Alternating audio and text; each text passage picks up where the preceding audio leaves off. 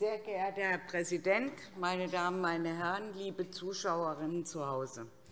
Für DIE LINKE ist schon lange klar, um die Versorgung der Bevölkerung mit nachhaltig erzeugten Nahrungsmitteln zu sichern, sind regionale Ernährungssysteme notwendig. Durch eine Regionalisierung von Produktion, Weiterverarbeitung, Vermarktung und Konsum können Kreisläufe geschlossen, danke, Transportwege minimiert und kulturelle sowie ökologische Aspekte des Landschaftsschutzes besser gefördert werden. Doch das Potenzial von regionalen Ernährungssystemen, einen maßgeblichen Beitrag zur Entwicklung des ländlichen Raums sowie eine Wertschöpfung für Klima- und Umweltschutz zu leisten, wird nicht genutzt, geschweige denn ausgeschöpft. Notwendig sind regionale Kreisläufe zugunsten der vielen statt globale Märkte zum Profit der wenigen. Gerade der zurückliegende Lockdown hat gezeigt, und ich konnte mich auf meiner Sommertour davon vielfach überzeugen, dass die Umsätze der sogenannten Hofläden und die Direktvermarktung um ein Vielfaches gestiegen sind. Allerdings gehört dazu für den weiteren Ausbau dieser Vermarktung ein flächendeckender Umbau der Landwirtschaft hin zu einer extensiven, weg von der intensiven Bewirtschaftung der Böden und einer Tierhaltung, die nicht auf Masse, sprich Quantität setzt, sondern eine tierwohlgerechte Haltung und eine Förderung, die die Qualität unterstützt. Dazu müsste sowohl der Tier- sowohl als auch der Fleischexport massiv zurückgefahren oder am besten ganz eingestellt werden und nur in ganz wenigen Ausnahmefällen erlaubt sein. In der Fleischproduktion ist noch weitaus mehr wichtig als regionale Erzeugung und Schlachtung. Um die Belastung der Tiere zu vermindern, bedarf es mehr als mobile Schlachteinrichtungen und dezentrale regionale Schlachthöfe. Sollen kleine und privat geführte Schlachthöfe ein romantischer Gegensatz zu den großen industriellen Schlachtungen sein? Ich glaube kaum. Wenn der Mensch Fleisch essen will, dann muss er Tiere töten.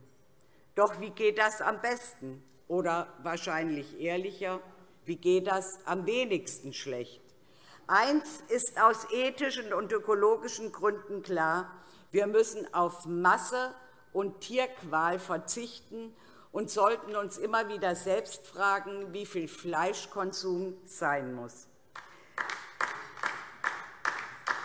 Die 28 größeren hessischen Schlachtbetriebe verfügen über eine Schlachtkapazität von rund 53.000 Rindern, 270.000 Schweinen sowie 442.000 Schafen und 28 Millionen Stück Geflügel pro Jahr.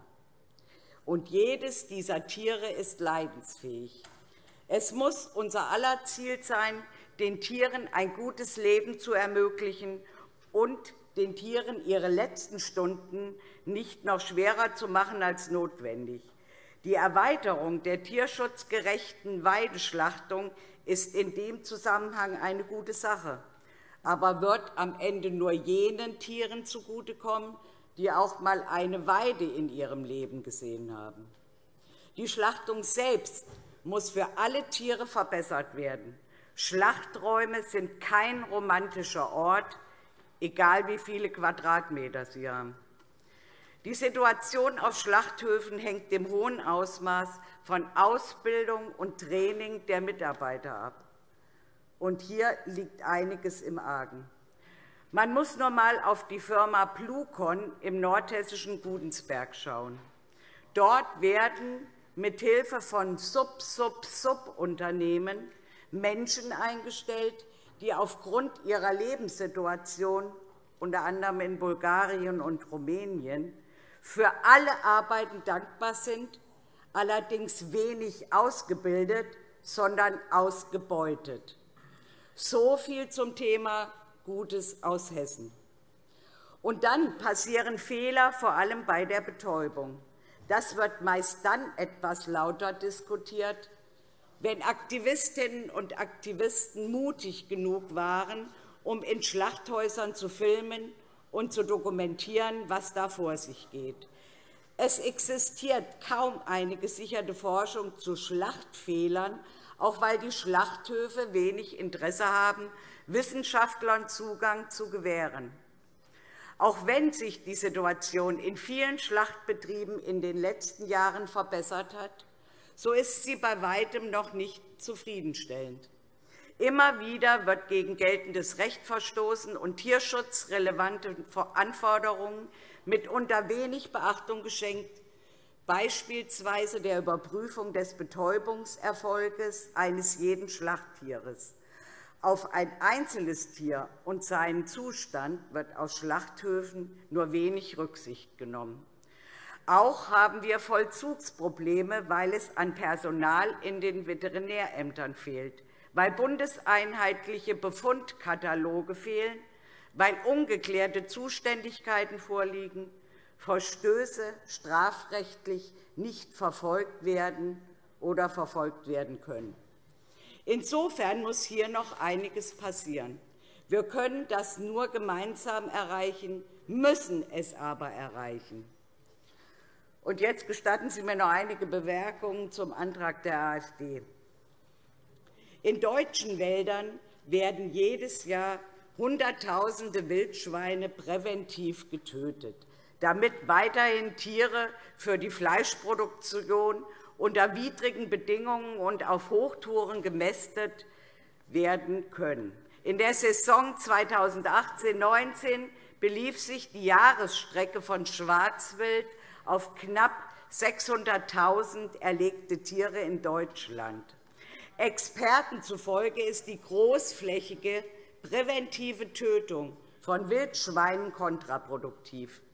Denn die Schweinepest wird hauptsächlich durch kontaminierte Speise- und Schlachtabfälle verbreitet, also durch den Menschen. Eine Übertragung in die Schweineställe erfolgt also durch den Menschen. An diesem Punkt ergeben Präventivmaßnahmen durchaus Sinn. Für den Menschen und andere Haustierarten ist die Krankheit übrigens ungefährlich. Unter dem Vorwand der Seuchenprävention werden verstärkt Rückjagden durchgeführt, obgleich bei einem Ausbruch der Schweinepest vor allem diese Jagdmethode zu einer Verbreitung der Krankheit beitragen würden. So beschreibt das Friedrich-Löffler-Institut, ich zitiere, eine Bejagung könnte Unruhe in die dort ansässigen Rotten bringen und unter Umständen zu ausgeprägten Wanderbewegungen führen, die das Risiko einer Verschleppung des Erregers erhöhen. So viel dazu. Vielen Dank.